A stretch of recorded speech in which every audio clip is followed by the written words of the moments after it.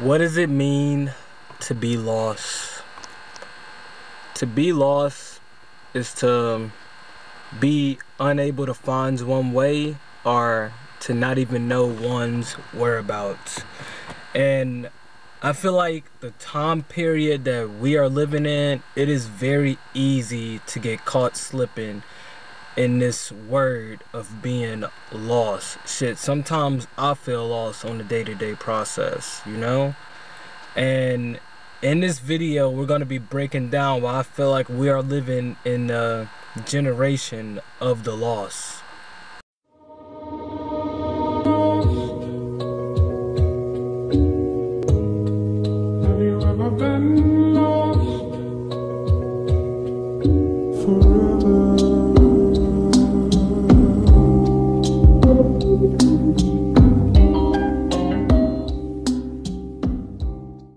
Welcome to Taj's TED Talks, where I'm gonna be giving my opinion on certain topics, and I'm gonna be recording all this shit off my VHS camera because it looks fire. And if you mess with the perspective of a 22 year old black dude from Louisiana, welcome. Let's dive right into this, man. My generation, Generation Z, if you ever see me look down, it's because I'm reading my notes off my phone. I'm keeping this thing as real as possible, bro. I'm not fun. But my generation, Generation Z, 1997 through 2010. That's what mainly I'm going to be talking about. That's the people I'm trying to aim towards because I feel like that's the people that understand me the most because like we're all around the same age besides people from 2010 what the hell babies but I feel like my generation we have grown up in a very fast paced world. Like I always bring up the example how like I basically saw the iPhone. Like I remember being in like middle school having like an iPhone 4 and what are we on right now? The 15 iPhone 15 titanium shit? Like we have seen the evolution of so many things through our lifetime and I'm just 22 years old bruh. I know it feels like shit is just I don't know shit's just moving like at an accelerated rate than um the past generations. And that's going into like the next thing I want to talk about. We may be the generation of the lost but as I look back and I did my research on like past generation of my knowledge every generation had to go through something. Like there's never really been like a peaceful time in America or in the world even to say that the most is like we have always had chaotic events happening in our generation. Like I always bring up to people how when 9-11 happened, I didn't even make one years old yet. Like we have lived through 9-11, a freaking the coronavirus, which I'm gonna get through get to later in the video. That shit was crazy. Uh, all these crazy ass elections we've been going through. I feel like we we've been through the most wildest political era of all time, bruh. Uh, for people that live in Louisiana, we've been through hurricanes. You know, it's like so many chaotic events have happened in in like our generation. Like so many end of the world conspiracies. Everybody thought the world was gonna end in 2012 and shit like that. It's just been chaotic event after chaotic event, and I feel like we haven't had a chance to really like slow down and shit. Like I said, like going back earlier, I said we have been living a very fast paced, accelerated lifestyle and my time period. And it's just been crazy, bro. It's like we have been living in a real history book. Like the shit that my generation has gone through people like kids are going to be learning about like in 2040 and shit like that and they gonna be like you lived through that yes I freaking did, bruh. And on to the next topic about why I feel like we're in a generation of the lost. I feel like my generation just has a lack of purpose, like for real. It's like I feel like a lot of people don't really know who they are. It's like it's a real identity crisis going on, bruh. And I feel like with that lack of purpose, social media has played such a big part. You know, like we are like the true first generation to grow up in like the social media era. I can remember being a kid, not having a phone, still playing outside, but as you grew up, it's like we got more indoctrinated to like being a part of this internet wave and all of that. It's like we grew up head first in it. Like we were like the first people to hop on Instagram, Snapchat, Twitter, all of that shit. So I feel like social media has is at the forefront of why people have a lack of purpose because they're on their phones all fucking day and they're not really trying to find out who they are they're being distracted you know we live in a world where there's so many distractions going on that a lot of people really don't take accountability of their life you know. They're just trying to like see what's the next wave see what's the next trend or follow the next trend or trying to get a buzz. Everybody trying to make it following this unrealistic thing of trying to become rich that only 1% even probably lower than that 1% people even really get bro and i feel like another reason why we have a lack of purpose is that it is damn near impossible to predict the future it's impossible to predict what tomorrow is going to be for us it's like going back to what I said previous, we have lived through so many chaotic events that is damn near impossible to think what's gonna happen next week. So I feel like everybody really just out here like just living and just doing whatever the fuck they want to do because I'm gonna keep it G. I have the same mindset. Like I feel like the world is ending soon, so it's like why even care about the future when it's like anything could happen that could just like derail you. It's like you could be working towards something and that's what next thing you know it's like it didn't even matter. Like all that working you put in didn't even matter. And I feel like that's why a lot of us in my generation have a lack of purpose because like you just never know what's fucking coming next, bro. And it's like all the distractions on top of that.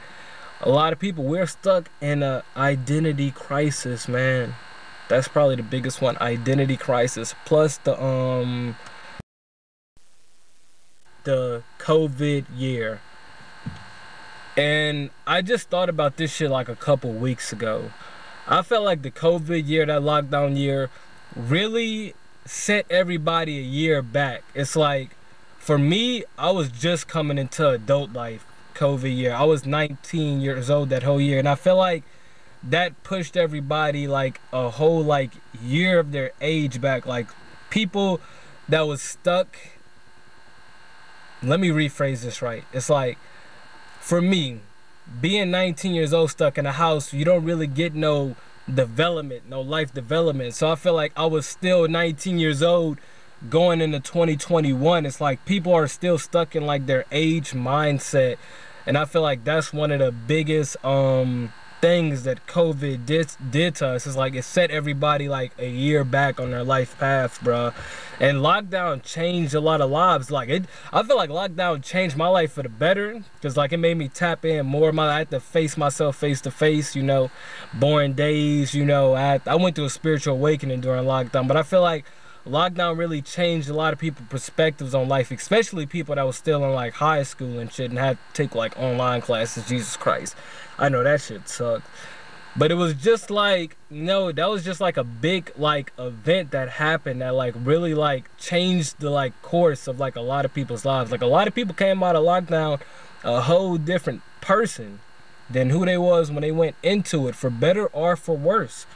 So, you know, I feel like and another thing I said, that was my first year of adult life. Like imagine you just graduated high school, you're ready to go tackle adult life, and your first year, lockdown happens, your whole summer is taken away, the whole world changes. Like, no matter what you say, the world before um, COVID happened, 2019, compared to after, even though we got like it's seeming pretty normal, it's a whole different world. It is not the same world that we lived in in 2019, bro everything is different. It's like you can just feel it up in the air, like how much shit is changing. Maybe that's just a part of the world evolving, but I'm just saying COVID had like a big impact on like my whole generation, and it's going forever. You're gonna, I feel like the true long-term effects of COVID, and that year hasn't even really settled in yet, bro. Like we just seeing the freaking upcomings of it, bro. It's wild. Last topic about this video is inflation rising. What the? Mm. we are living in the second Great Depression, and we don't even want to call it that. It's like people just going about their day. We are truly living in the second Great Depression. I've watched buku TikTok videos about like how if you compare the housing market pricing of our generation with the minimum wage or the pay like salary that we're getting compared to back in the day, we are being totally messed over. Like housing causes so much money and we not even we're not even getting paid that type of money to even pay for the housing like that so it's causing people to be stressed out working 80 to 60 hours a week just trying to keep up with their bills it's like we're living in a era where everything is so expensive and we damn near still getting paid the same bullshit pay rate so it's like for young adults, it's like that makes you lose faith up in society because it's like we not even getting paid what we supposed to be paying, and y'all just constantly raising the price, raising the price. It is so much harder to make an honest living in my era than I think in any era, bro. It's like even if you want to put your bootstraps on and like grind it out, it's like there's a reason why mental health is so high like nowadays because people are stressed out, bro. People are stressed the fuck out because they got to keep up with these damn bills. They don't even have enough money to freaking live a life they, they want to live. They didn't already sign these contracts. They didn't already had these kids. They got to keep up with all these bills and they don't have no choice but to do it. They got to grind. I don't got no kids, so I'm still out here fucking chilling and shit. I make my money and do all that, but still, it's hard out here, bro. It is hard as fuck out here for all my people in this generation of the lost, bro. And that pretty much like concludes it, bro. I'm just in this bitch ranting at ranting at this point, man. But at the end of every video, at the end of every Taj TED Talks videos, I'm just calling it Taj Talks. I don't want to take the TED Talk shit. I want to drop what is my conclusion, what is my like solution to this whole thing. How do we fix the generation of the lost? And I would just tell people to really find out who they are. Like, take a moment. I said this shit on Instagram at the beginning of the year. 2023 is the year of self. Is the year that you're supposed to be like really like understanding who you are and stuff. I believe if you live a life that you want to live and you understand like who you are and you don't care about like the social structures and like what the um the freaking what society what society accepts. You need to stop giving a fuck about what society wants you to accept and just live a life that you want to live. And that's one of the solutions how you get out of this lost state of mind. I know it's so easy to become lost in this freaking crazy ass world that we live in. And i really don't have a conclusion or a solution for like the to, to, to totality of this shit, bro, because it's like, man, you know, it's hard. It's really hard to like find out who you are when you got so much stuff thrown at you. I didn't go to college, but for all my college students out there, trying to find out who you are right at the same time trying to keep your certain type of friends, trying to keep up with your bills, trying to keep up with homework, trying to get that degree. After the degree, trying to find a raw ass job, and you end up fucking field where it's like everybody is competing and it's just like ton of bruh moments. It's a bruh moment fest, I like to call it, bruh. It's what we living in. Generation of the lost, man. Hey, if you feeling lost out here, man, just get on your grind, bruh. And say fuck it and live life that you want. I'm thinking about moving to Africa, honestly. Peace.